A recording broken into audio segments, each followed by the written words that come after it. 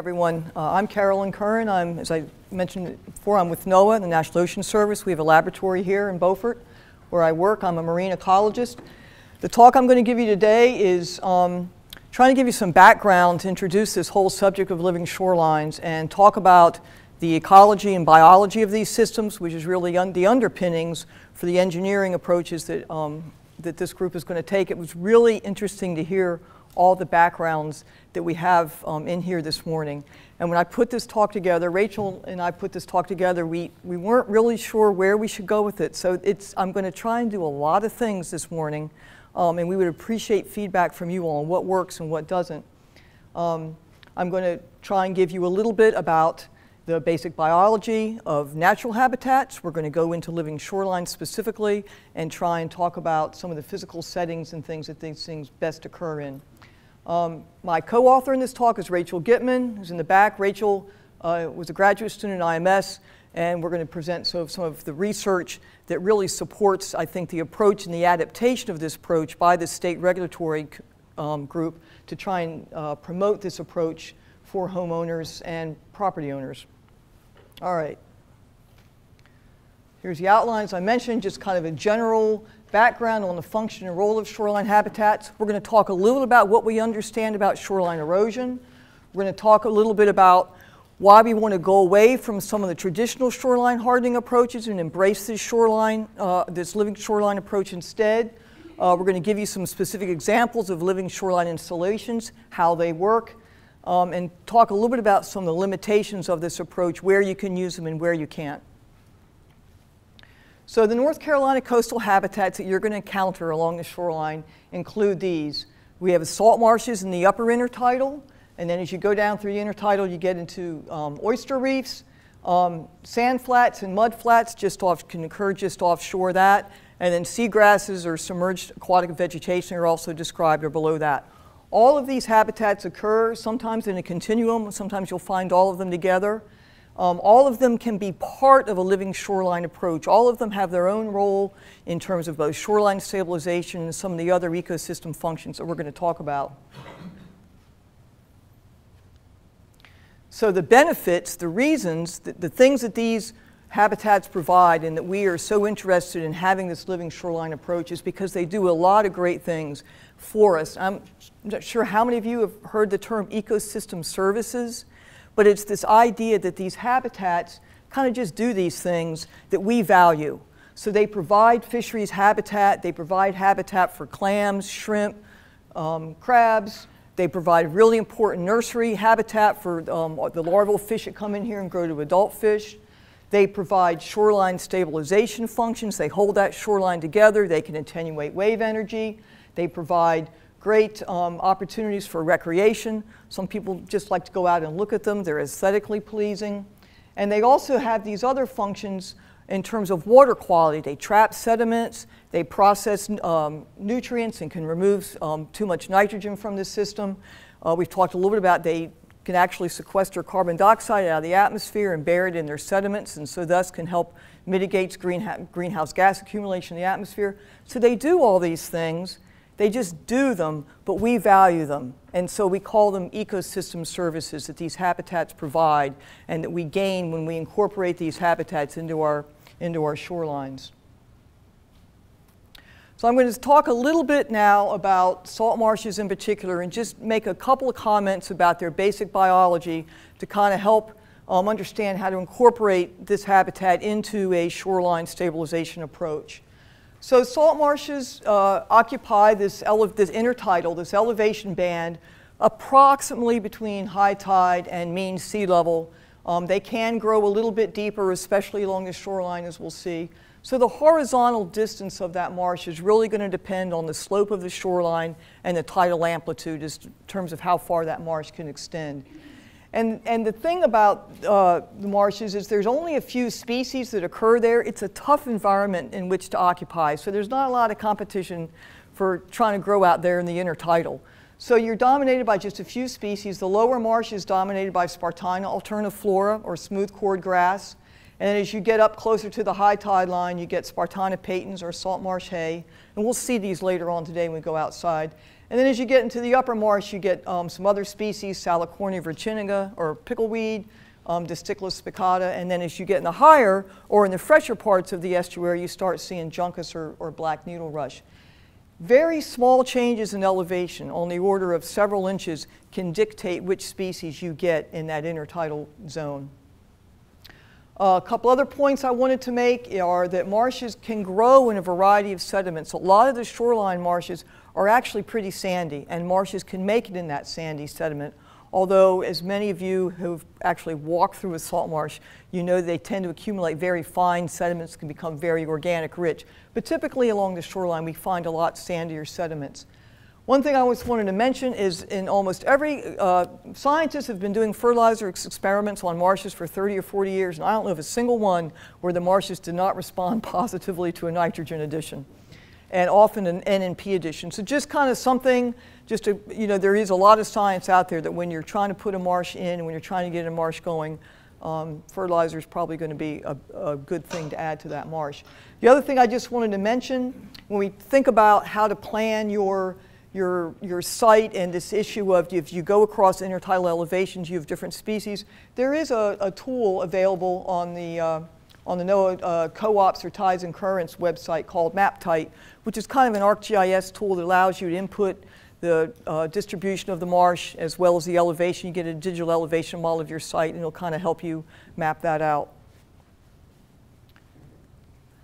So we have these beautiful shoreline habitats that provide all these great services. And we also have people that want to occupy the shoreline because it's so beautiful. And so the real challenge here is to maintain these beautiful home settings and these beautiful waterfront properties and also maintain this really beautiful shoreline and very valuable shoreline habitat. And here you see a nice fringing marsh with an oyster reef in front of it. And so the goal is to try and figure out a way to have, to have both of these things um, occur together. So, it, so one of the things I want to point out when we see these fringing marshes is that a lot of the ecosystem services that I just mentioned, they happen primarily at the marsh edge. And so even a fairly narrow marsh, you don't need hundreds of meters of marsh to get a lot of these ecosystem services. A lot of them occur at the, it can occur within a very narrow 10, 20 meter wide marsh. For example, there has been a lot of research that's shown the, the fish and shrimp utilization of a marsh is primarily at the marsh edge. That's where you catch the most. That's where they, they tend to occupy the most. As I'll show you in a minute, wave attenuation happens at that marsh edge. 10 or 20 meters of marsh can be very effective. Sediment trapping happens primarily at the marsh edge. So let's talk a little bit about wave attenuation, especially in terms of shoreline attenuation this, or shoreline stabilization. This is one of the most important functions um, of, of, the, of the marsh. So this picture up here is from the marsh you'll see later today right on our island. And there's, as again, as I mentioned, there's been a lot of research to demonstrate this. About half of the incoming wave energy is reduced within the first 10 feet of the salt marsh. Salt marsh grows up into the water column. It's, it's um, you know, cylinders that are pretty woody and they give with that wave and they absorb a lot of that wave energy. You can get over 90% of the incoming wave attenuation in the first 20 meters of, of marsh. There's also a lot of research that demonstrates clearly that wave energy reduction increases with plant biomass, makes sense, but there's a lot of data out there. As you increase above ground biomass, you increase that wave energy reduction. However, the one thing we have to think about is this relationship between the plant canopy height and the tide. So in the bottom graph, there's low tide, so there's the water column right there at the, at the base of the plant. And this is when you can get erosion. If you've got waves happening now, it's going to be scouring that beach right there in front of the marsh. As the tide comes in, now you've got a tide, now you've got the water column up through the, through the marsh canopy. That's when it's most effective. It's really going to knock down the waves at this point. When, however, you get a storm surge or water level heights that are double the plant canopy height, at this point, that, that marsh is no longer attenuating that wave energy. It becomes a drag coefficient as the storm surge moves across the marsh, but it's not really attenuating wave, wave, wave energy at this point. So the other thing I mentioned that salt marshes do, as they attenuate that wave energy, is reduce both turbulence and velocity of the water moving through the marsh. The sediment suspended in the water column falls out into the marsh. So marshes are really effective at trapping sediments out of the water column. And I've got here just some pictures that I don't know how well you can see them in this light of some of the tools that we use to measure this ability of marshes to trap sediments from the water column. So one of the things we use, and you might hear about, are uh, surface elevation tables or sets. And these are devices that we put on benchmarks, and then we have these rods down the sediment surface that allow us to measure millimeter level changes in the marsh surface. And sea level rise every year is on the order of millimeters, so it's important for us to track millimeter level changes in that marsh surface to understand if that marsh is able to keep up with sea level rise. So that's one approach that measures net change in the marsh surface elevation. Another thing we can do is we can put down what we call horizon markers, which is a layer of bright white feldspar, which is a, like pottery clay. You put that on the sediment surface, it gets wet and it forms a really cohesive bright white layer, which you can then core and then you can go out and you can, with digital calipers here, you can measure how much sediment has actually been brought onto that marsh surface. The other thing we do, and I'll show you some data that we've um, obtained this way too, is, as I said, these are benchmarks that you survey in. You can put a, a GPS receiver on that benchmark, put a rover, in this case on a bicycle, and you can collect a lot of elevation points, and so you can get an idea of the whole site elevation change, whether or not that site is accumulating sediments or eroding. So using this variety of techniques, we and, we and others have shown that marshes do grow sediment volume over time, that storm events, particularly hurricanes, are often a source of sediment to the marsh rather than an erosion event, that marshes are able to keep up with sea level by this gradual accumulation of sediment on the, on the surface as well as their below ground production, and that this, that, and that this sediment increase, this increase in sediment volume, facilitates the carbon sequestration ability of salt marshes. So I'm going to talk a little bit now about shoreline erosion and some things we've learned about shoreline erosion, particularly in North Carolina. So here you see three shoreline habitats, sediment banks, salt marsh, and swamp forest. And they're all, you know, they're all going to erode. And they erode because of ambient wave energy, just the everyday lapping of that wave energy on the shoreline. Storm events, of course, can be a huge driver. But they Erosion is also um, exacerbated by some other things that can happen. For example, the disruption in sediment supply. Damming of uh, the nation's rivers has been demonstrated to be a huge problem for coastal salt marshes. We've removed the source of sediment that those marshes uh, use to, to build themselves up. Um, changes in shoreline topography by building, for example, um, can also increase shoreline erosion, removal of vegetation, obviously.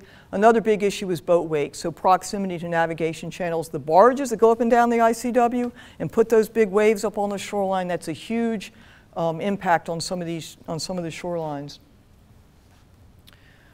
So just talk a little bit about some of the studies that have been done in North Carolina. As I mentioned, erosion. So we can, we can try and figure out, you know, how well can we predict erosion at any one site? And that's kind of the first step of figuring out what to do about. And erosion is really a function of a number of things. First of all, the wave energy, which is a function of the fetch, which is the distance over which the, way, the wind is blowing, the direction of the prevailing winds. So if that fetch lines up with the prevailing wind direction, it's a lot worse than if the fetch is counter to prevailing winds.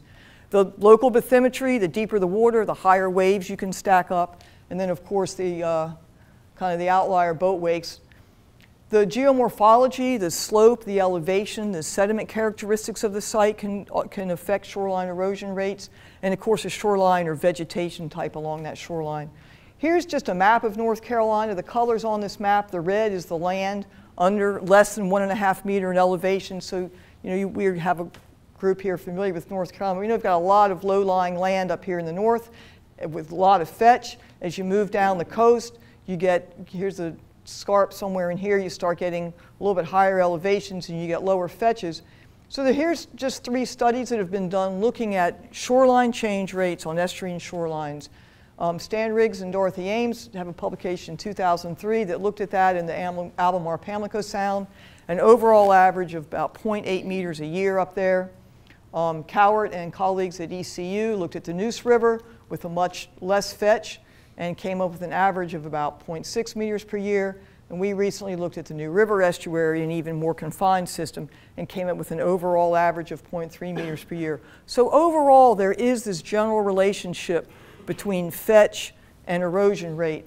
But what was interesting is within each of these studies, there wasn't really a good correlation between fetch or wave energy and the erosion rate. So there's other factors at play.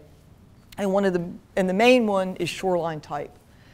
And what, what we have found in both of these, in all of these studies, is that sediment banks within any wave energy class are going to erode faster than a salt marsh.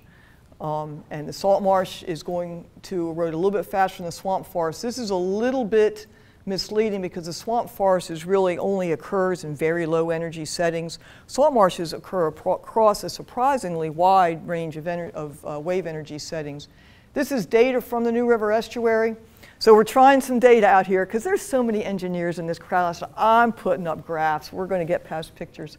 So you all can tell us if you say, no, no, you can not have to do that. But anyway, whoops. So here's, here's uh, erosion rates for salt marsh in the blue, sediment banks in the red. This green bar is sediment banks that had a narrow band of salt marsh in front of it. And that's what this picture is here. So here's the sediment bank in the New River where you really get pretty high bluffs, a very narrow, and I'm talking like 8 to 10 feet wide of marsh. And we found significantly lower erosion rates associated with that narrow band of fringing marsh in front of that sediment bank. And then the, salt, the uh, swamp forest had the lowest erosion rates. So we do have some data to go on there. The other thing I think that is of real interest um, in, in this process is, well, what wave energy conditions can support a living shoreline approach and how do we match our living shoreline design to the site wave energy conditions. So what I have here, as I mentioned, we, we find fringing salt marshes across a very broad wave of wind wave, a broad range of wind wave energy. This graph here is marsh width, so this is 100 meters wide marsh here. That's not right. I can't even read it. 700 meters wide. I was going to say 700 meters wide. So very wide marsh here at very low wave energy settings. There is a relationship between wave energy and how wide the marsh is. And, and as you get into higher wave energies, not surprising you start seeing narrower marshes. But this gives us a clue as to the kind of the wave energy settings at which you could, you could put a marsh we ran an exercise where we looked at existing stone sills. So this is one of the living shoreline approaches you're going to hear a lot about today. It's called a hybrid approach or a marsh sill approach where you put stone sill in front of that fringing salt marsh. And this graph shows you the wave energy settings of all the, way, the stone sill projects that have been put in. I think this was done about five years ago. And so a couple things came out of this. Surprisingly, a lot of these sills are put in places where maybe you didn't need them. Very low wave energy settings where we have very wide, broad marshes, so maybe you didn't need that sill. The other thing is some of these sills were put in really high wave energy settings, and I want to particularly, so I want to particularly point out this dotted line here, for those of you who are familiar with the dredge spoil island right off Harker's Island, on your way out Barden Inlet, there's a dredge spoil island over to your right as you're heading out. And in the 80s, um, a salt marsh was established on that dredge spoil island by Steve Broome and some folks here at this lab. And then uh, in the 90s, uh, Dave Meyer went out and put oyster culch in front of that marsh. This marsh has about a five mile fetch. It's way out here on this continuum of where we see salt marshes. And it's done great. This, is, this picture was taken right after um, Hurricane Irene, and that combination of marsh, oyster reef. There's also seagrass beds and a shallow sand flat off of that has been very capable of maintaining that shoreline over the years. So this is kind of an outlier um, on this continuum of where you're going to find marshes, but also an example of this kind of system can work even in fairly high energy settings. So let's now talk about um, shoreline hardening and why some of the adverse impacts of shoreline hardening and why we're interested in going to towards a living shoreline approach. So this slide just shows you some of the approaches that have been used from seawalls um, to bulkheads to uh, groins or jetties, riprap revetments, breakwaters have all been used and they and I just want to, and there has been a fair amount of work showing how these, I mean, you can just look at them and see there's not a lot of coastal habitat that we've just been talking associated with any of these structures. They don't coexist well with the maintenance of those coastal habitats. So what happens when you harden a structure? What do you lose? Well, this is that, you know, a cartoon version of what we'd like to see. We have the seagrass out here, we have the tidal marsh here. One of the most important points that I want to make about this, these natural systems is that just that shallow water in and of itself is really important. It's a refuge for those small larval juvenile fish to get away from the large predators. And so I think what's the statistic is 90% of the commercial fisheries in North Carolina are estuarine dependent. They spawn offshore. They come in as larval fish and they need, that's really the key part of their life cycle is getting from larvals to juveniles to adults. And what they need is just shallow water. And so this is maintained in this kind of condition is this shallow water refuge. When we harden the shoreline and we introduce a bulkhead, we lose our, we lose our vegetated intertidal. The waves are no longer absorbed by the marshes I mentioned earlier. Now they're hitting that bulkhead and they're bouncing back out. And they're scouring that bottom. They're deepening that sediment. So we're losing that shallow water refuge and we're losing all the, the habitat value for fish of that shoreline. The other point is these bulkheads are put in at or above mean high water. That's regulatory. You have to put it at mean high water or above. But these changes that are happening are all occurring below mean high water, which is a public trust resource. So we're losing that, that, we're losing that ability to trap sediments, we're losing the vegetation, we're losing that fish habitat, we're losing some of the biogeochemistry that occurs in those marsh habitats because of the introduction of these bulkheads into this. Even though the bulkhead is put above the mean high water line, the loss of public trust resources is happening below the mean high water line. Another problem we have when we have um, the introduction of seawalls is this idea you might hear of coastal squeeze. And this is the idea that when you have, when you don't have any, when you have a low-lying land such as we have, and you don't have any structures landward, the marshes transgress landward with sea level rise. So sea level's been rising gradually for the last several thousand years, and marshes just kind of can gradually move landward without any obstructions. But with the introduction of seawalls, highways, buildings, we've kind of squo- we've, we've, we've interrupted that process. And now the marsh doesn't have anywhere to go. It's eroding, it's being drowned on the, land, on the seaward side, and it's got nowhere to go on the landward side. So what can we do to try and mitigate both the loss of habitats by these shoreline hardening approaches I described and by this coastal squeeze function? So this is where we've come into the living, this idea of living shorelines. Here's another definition. I don't know if it's the same one um, Whitney used or not. There's, this is kind of an evolving idea of what living shorelines include.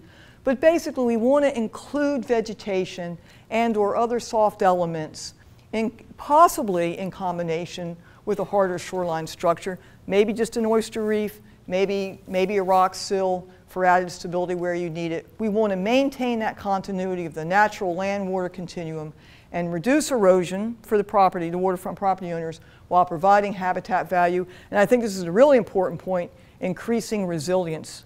These systems are more resilient in many cases than are the hardened shorelines. We want to enhance coastal resiliency with this approach. So here we have um, our natural shoreline. We've mentioned when we harden the shoreline, we lose habitat and a lot of those ecosystem functions. How about living shoreline options? What can we do in terms of here's some of the, uh, here's some of the options that can be used, everything from uh, just natural habitats, a marsh and oyster reef, um, perhaps a marsh with a stone sill. Sometimes in some settings we see marshes with bulkheads and then this is a much bigger approach for a high wave energy setting. So we've got this whole suite of things that fall under this definition of a living shoreline. And some of the questions that we have are, how effective are these living shorelines at providing those eco ecosystem services I described? How effective are they at maintaining the shoreline? Are they really good at preventing shoreline erosion? And are they going to maintain coastal resiliency? Can they keep up with sea level rise? So I'm going to talk a little bit about some of the research um, we've done to answer some of those questions. first talk a little bit about fish habitat comparison of um, living shorelines and um, hardened structures. And this is um, a lot of, this is Rachel's dissertation research, and I think there's, you know, some of this is going to be on the website. She's had several publications, been really um, powerful demonstration of how effective these living shorelines are at providing fish habitat. So as I mentioned, there was the nice picture, then we put in the bulkhead, we lose all, those we lose all that habitat, and we found clearly that we don't get as many fish. When we don't have vegetation, we don't have structure, we don't have oyster reefs, you don't have as many fish offshore of a bulkhead system or on a flat, bare sediment system as you do when you have marsh oysters SAV. When you get the SAV back into the system and or um, even the oysters or the, the rock sills and then the marsh behind it, Rachel found as many fish, um, as diverse, or in some way times more diversity in the living shorelines than the natural shorelines. So we found very quickly, within a year or two, as soon as you get the marsh established, you get a, a restoration of that fish habitat function with the living shoreline, whether you have oyster or whether you have rock. So Rachel's research showed that living shorelines can actually provide um, much better habitat for fish and, and crustaceans than a bulkheaded shoreline. And that's been clear here with bulkheads, and it's been demonstrated in Chesapeake Bay and other places for riprap revetments as well. We've also found that sills can function similar to oyster reefs in terms of providing habitat for fish. So the rock sill is a hard substrate. A lot of times it's colonized by oysters, especially the granite and marl shells. Um, and you'll see that today too. The oysters will settle out on those, on those sills and actually become part reef, part stone sill. We've also found that it's really important to have that marsh plant, that marsh planting behind the sill. You can't just have the reef, you can't just have the marsh sill and get that fish habitat benefit. You have to have that marsh community associated with the sill to provide the same fish habitat value function. So what about erosion protection? Are these things going to work? So I'm uh, going to give you a little bit of data, some which uh, Rachel got um, and some of which I got associated with Hurricane Irene. So this is a picture of Hurricane Irene landing on our shore in 2011. And Rachel did a couple things. Rachel looked here in, um, in uh, Bogue Sound and also up in the northern part of the state. And again, this is another nice publication that'll be on the website. And if you have questions, um, certainly talk to Rachel. She's, she's here today.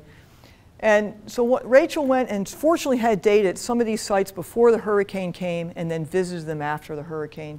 And this is a picture from Bogue Sound where there was properties that were very near one another. I think there's a lot in between and this was a bulkheaded site, and then two lots away was someone that had just put in this living shoreline. You can see here a rock sill, and they had just planted the marsh.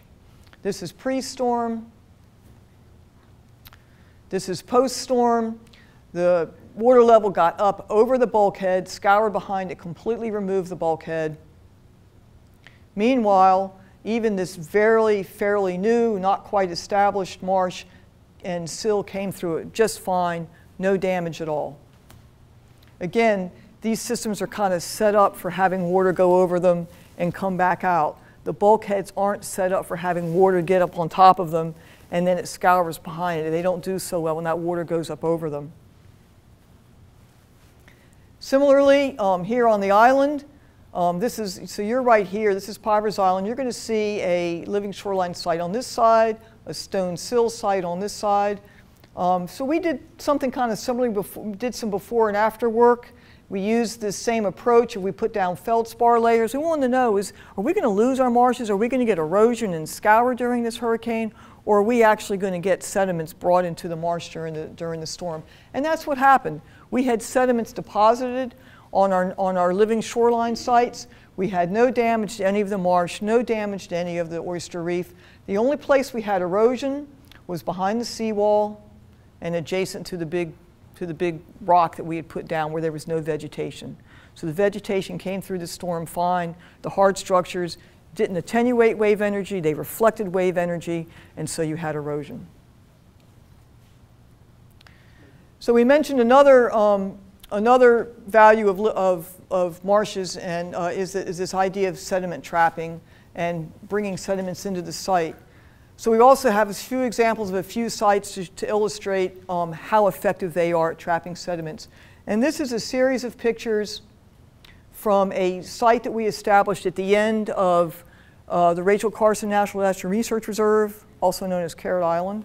So this is just um, east of the, of the Taylor's Creek boat ramp. So all of you folks who ever go launch there the Taylor's Creek boat ramp and head out to Shackleford, you're going to see this on the eastern end of the island. It's a really high energy site. Again, on that continuum I showed you, there's about a four or five mile per hour, uh, four or five mile uh, fetch here. It's a high energy site. It's experiencing a lot of erosion. And we set it up as a demonstration project. Let's try this. Let's put this someplace where the only thing you're going to lose is a lot of cedar trees. So let's put this in a high energy site and see if it'll work. So with the help of um, folks at IMS, we established this uh, oyster reef and had some marsh plantings behind it. This picture was taken in 2012, shortly after it was established, and you can see we had deep water behind it. By 2013, we had a accreted sediments behind it. 2014, um, you can still see the sediment site is pretty high behind it. We lost a little bit of oysters there, and then I think Rachel went back out just a couple weeks ago and took this last picture again. You see this maintenance of sediment behind this reef, and again we see the live oyster has colonized this site really well. And despite um, Hurricane Arthur and some other problems at this site, this oyster sill has maintained itself in this high energy setting, and it's trapped sediments behind it. This is another way of looking at that. Um, I showed you earlier this idea of putting a benchmark in. So that's just the oyster sill. What about the sediments from behind the sill up to the tree line? So here we have, over the years, we've collected digital elevation models of this whole shoreline using this, this bike technique. So this is a DEM taken in 2012. This contour line here in red, you'll see through all these images, that's the minus 0.3 NAVD 88 line. Here's the open water. You can see light green is the lower elevations and then higher elevations are the white. So this is 2012.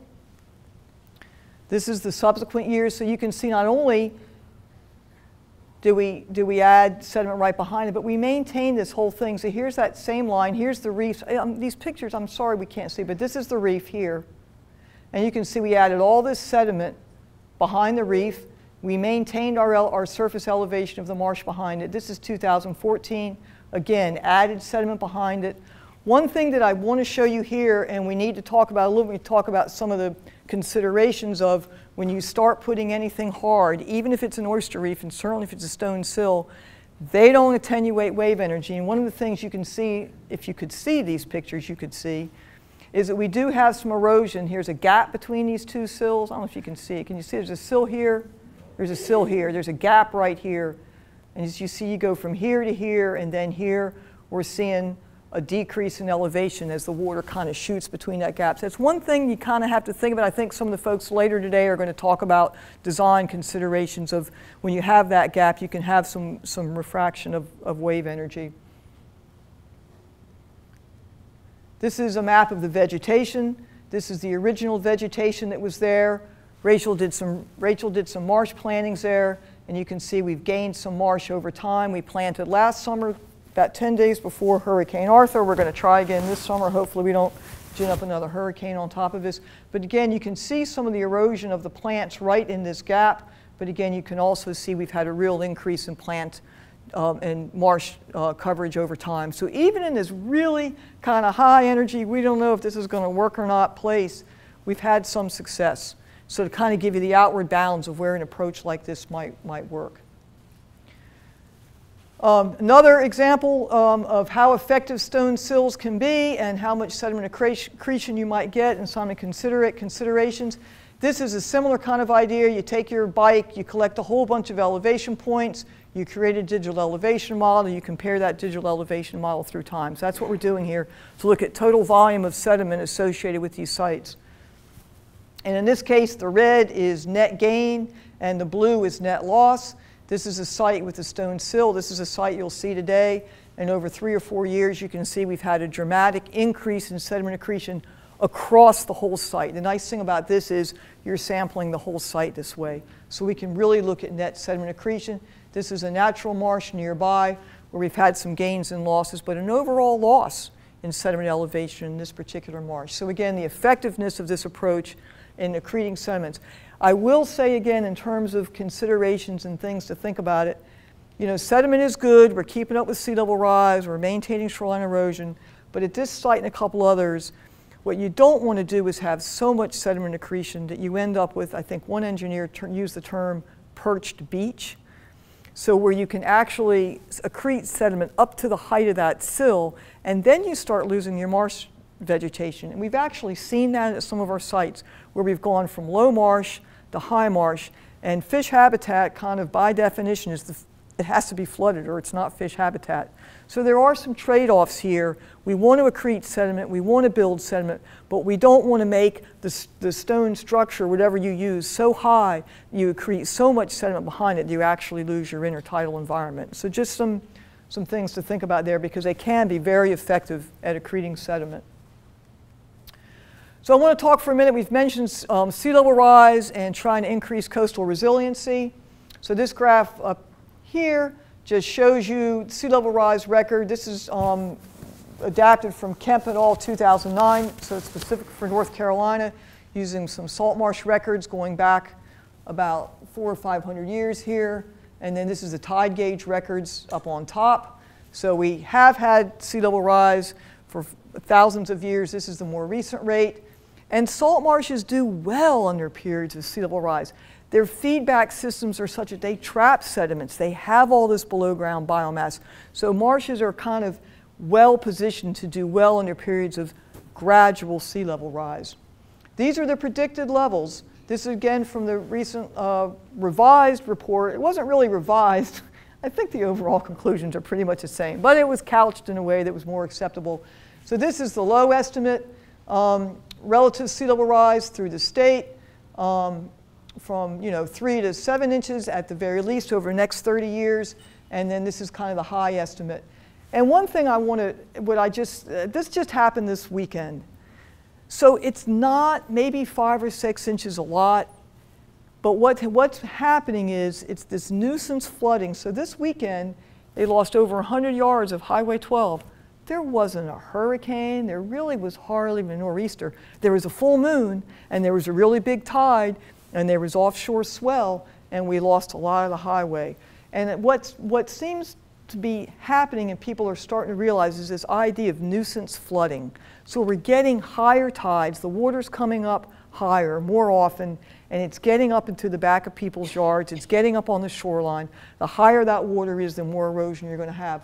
So we want to have systems, ideally, that can keep up with that to some extent. And the good news is, salt marshes and oyster reefs can keep up with sea level rise. You've got a built-in resiliency there with these systems. So this is just um, a schematic over here of how salt marshes, I mentioned kind of these positive feedback loops or how marshes are well conditioned to keep up with sea level rise. So that sea level, that the water comes in, the tide brings in sediments. We've already described marshes are really good at knocking down that wave energy and the sediments fall out and fall on the marsh surface. Marshes also have a tremendous amount of below ground production. You go out there and look at the above ground, it looks like a lot of plants. There's even more biomass below ground. So they also build sediment volume by all this below ground production. And this results in overall vertical accretion and net elevation change. There was a um, review recently, Don Cahoon of USGS recently had a review of uh, uh, wetlands worldwide looking at um, this data used using the, I mentioned the surface elevation change, so net surface elevation table, net surface elevation change. And he found that of, of 89 marshes that had long-term records, 58% of salt marshes worldwide were adding elevation at a rate greater than sea level rise.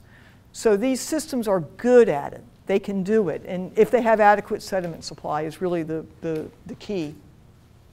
Similarly, there was a recent paper by Tony Rodriguez and his colleagues right over at um, IMS showing that North Carolina oyster reefs also do a really good job of keeping up with sea level rise and can gain elevation at centimeters per year, which is several times greater than sea level rise. So we have two systems here that have resiliency that can keep up with sea level rise and come be part of your shoreline stabilization approach. So another question, how long might it be before you see the benefits? This is a series of pictures, and we've got some other examples. Um, it, it, takes a little while for that marsh to get established. Here's just the sill. Um, it, it really depends in part on how dense you put the plants. You know, the more plants, the denser you put them, the faster the recovery you're going to have. But certainly by almost by three years, you almost always by three years have got 100% cover. You might have to go back and replant. And by five years, by now you've got sediment accretion. You've got a really um, uh, solid, sustainable system that's going to go through storms. Although, as we showed you earlier, even right after planting, these, these systems are um, resilient to, uh, to uh, hurricanes and storms. So it does take a little while to get established depending on site conditions, but it can happen pretty quick. So I think I can wrap this up. I think I've said this. I think what we really need to think about and what we as scientists need to do is provide help in coming up with engineering guidelines to match projects to the physical setting of the site. As I've mentioned, here's this oyster marsh thing where we're not using rock, we're just using natural habitats across of wave energy settings from a very quiescent setting as we have here to the dredge spoil island out on uh, Harker's Island, which is way out here, to the NERRS demo project, which is also somewhere in here. So we're starting to get a feel for the wave energy settings at which these things can, can work. Want to mention there are some trade-offs. I've mentioned some of them previously um, about how, uh, you know, trade-offs between, for example, building up sediment and getting a lot of plant biomass here. You've got plants moving all the way down across right to the rock. We've had a lot of sediment buildup, so the plants have moved down. So maybe that's good for shoreline stabilization. But what we lose in this kind of uh, configuration is we lose fish habitat. Putting the sills in as opposed to having an oyster reef or opposed to just having a mudflat uh, salt marsh continuum also is a loss of, of habitat for fish and other benthic creatures. So there are trade-offs here. You have to just adapt to site conditions. And so because of these trade-offs, we want to minimize the footprint of that stone sill. Build as much as you need, don't build too much. And I'm not going to walk through these. You've got, um, you've got access to this talk online, um, and so you can read these yourselves. But thank you very much for being here today. Really excited about it um, because we feel like this is the group we have to reach as scientists. You know, we write our papers and all that, but you guys, I think the people in this room can really help make this happen. Um, we're going to visit some of these sites today and look forward to it. Be happy to take any questions for myself or Rachel. And thank you very much.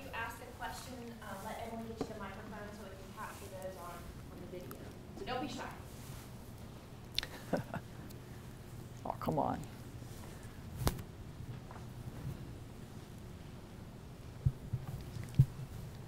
I'm Niels Lindquist, and the comment that I have is that the issue you were just talking about at the end with the backfill, with the sills, if they're above mean water level, you know, you will potentially get that increase. An oyster reef will top out at mean water level. They don't grow up above that height. Right. So they're kind of self-limiting in that yes. respect. So. Correct.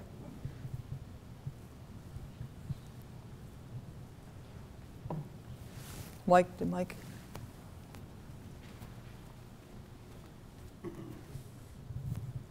I have a question about. Is it on? Oh, okay. I have a question about the uh, the source of the sediment for um, that the, for the accretion in the marshes. Um, have you been able to determine is it coming in with uh, the the tidal influx or is it from uh, the upland source? You're still getting some erosion behind the sill. Uh, it I've seen both, and it depends on the site. Um, I think that, for example, that Carrot Island site, there's that bluff behind it, and I think some of the, maybe Jones Island, Lexi might be an example of where that's the case, where the sediment that's coming onto the site is actually from the bluff behind the site. But we've got lots of other sites. Pine Knoll Shores is a good example, even right here, where it's clearly coming in on the tidal waters. So it really depends on the slope of the site and what's behind it.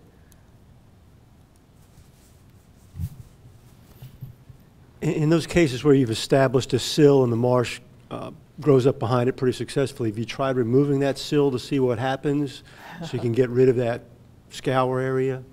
Nobody's done that that I'm aware of. Um, you know, the nice thing is the sills settle. We're trying to track that, you know, and they can become colonized with oyster reefs, but that would be a big job because most of those sills are, are granite. It's a lot easier to add on top than it is to take it away, but I don't know of anyone who's removed the sill.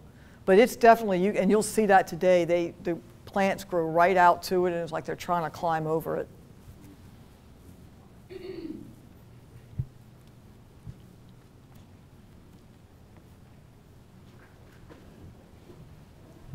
Just a correlated question on the last one.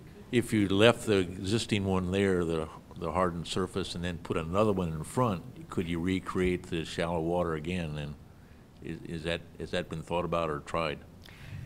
It hasn't been tried. Um, someone may have thought about it. So now we get into some of the regulatory issues. So now, you know. Just politicians, you got to change their mind. well, no, because I think, I mean, I, I think as long as you've got, so, so we've got a sill, and you'll see this today. And offshore, you've got subtidal, even maybe even a little bit of intertidal habitat. You know, that's okay. I don't know that we need to put another one out there. We're not really trying to grow the marsh out any further than it is. What we're really trying to do is just maintain that shoreline, you know, from the sill landward. So as long as we're maintaining that, I think we're satisfied and not really trying to reach out further into that shallow subtidal where there may be SAV, you know, and there's other kinds of habitat value of that. So we, I, don't, I don't really think that's something that we would do.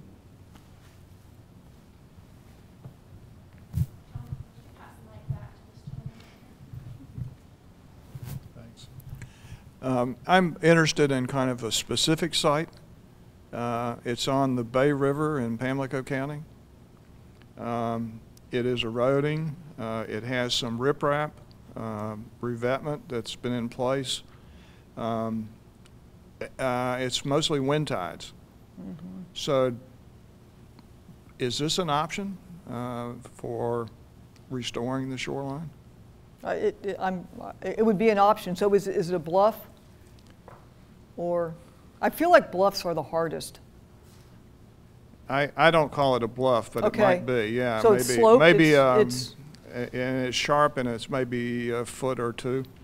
Yeah, I think it would be. I think it would be an approach. You're going to hear a lot more today, uh, and and I think there's some folks that'll show you some examples of some projects up in that part of the state.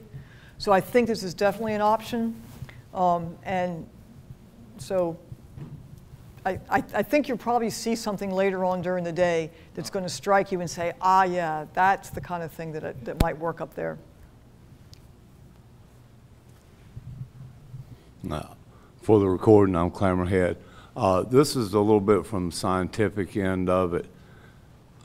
It, it appears from everything that we're seeing and what you presented that going from uh, oyster reef built underwater to a sill, that you're going to have different rates of growth that's going to catch up faster. And one of the things I've been concerned about is have you done any studies or have you noticed anything on the different rates building up a layer of methane gas from decomposition? Like, you know, do the sills build up faster and you have more or less methane? Most of the, most of the uh, sites that I've worked on are pretty high salinity seawater, so we don't get methane. It's all sulfate reduction. So methane can be a problem in freshwater systems or very brackish. But in saltwater systems, you really don't get production of methane. The sulfate reducing bacteria do, do most of the decomposition. Okay. All right. Thank you. Mm -hmm.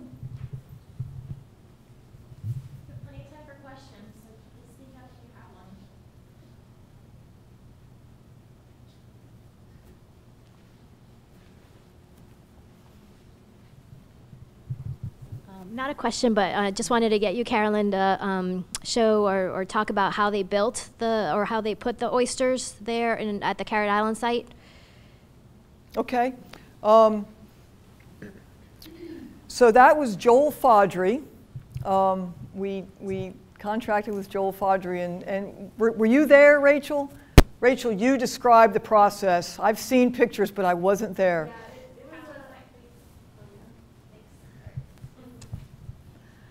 it was it was quite a, an undertaking. So um, if you go out Taylor's Creek, it's a relatively shallow area, but we brought in some barges, and then we actually built um, little makeshift barges on our skiffs, and we essentially dumped shell onto those boats, and then just drove right up to where we wanted to put the sill, and we shoveled it off. So lots of grad students, Graduate lots students of are key to a lot of these projects. It took us about, I think, a solid week and a half of just shoveling and more shoveling, but we that's how we built the sill. And we had pretty fine elevation measurements, so we had a very specific area that we knew the exact elevation, and then we built it um, to a very specific height um, all through. And then we had one long sill right along where Carolyn showed.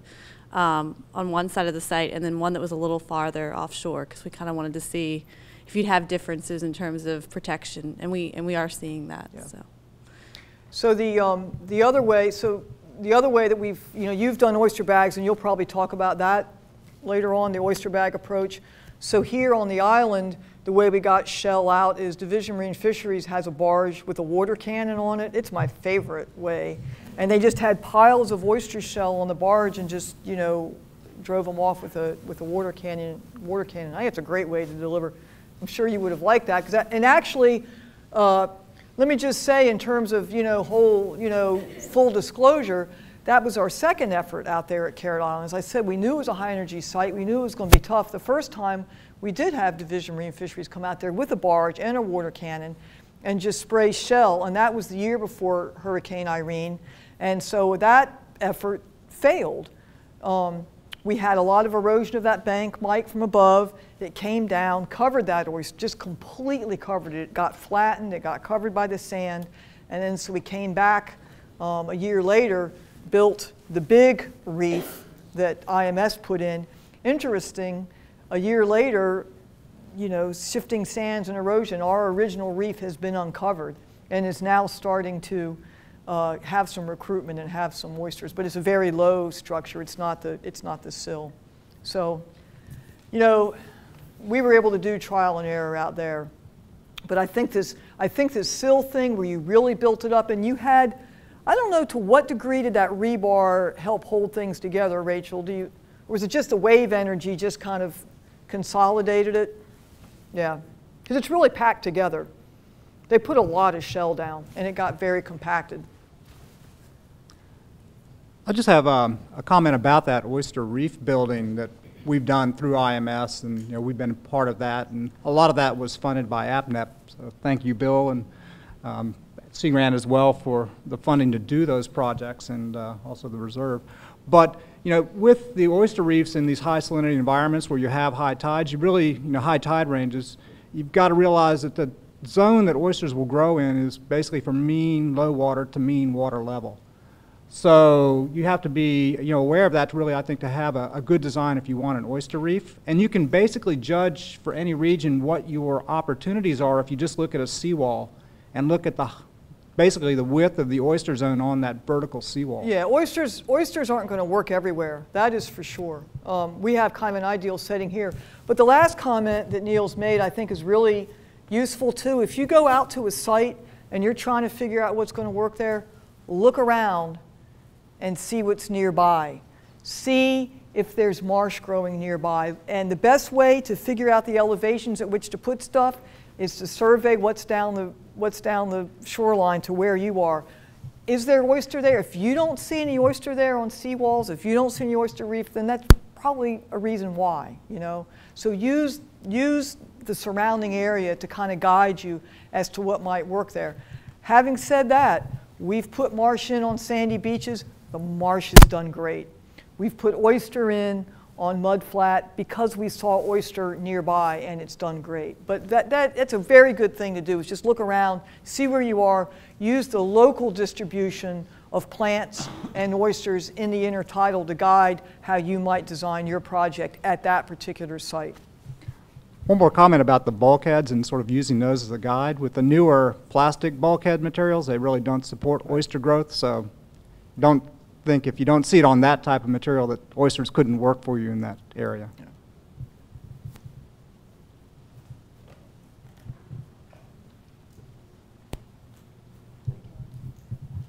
Has there been any consideration for other types of um, materials other than like granite and stone and, and limestone and, um, and oyster bags for use as, as sills, uh, artificial concrete units, stuff like that?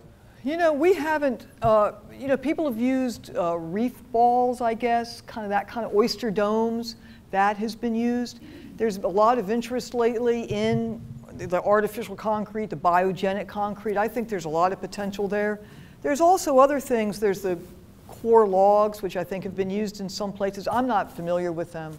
Um, they would be, you know, so a fibrous coconut, maybe, I don't know what it is, some kind of fiber that gets put at the marsh toe to provide probably a short time protection while the marsh gets established.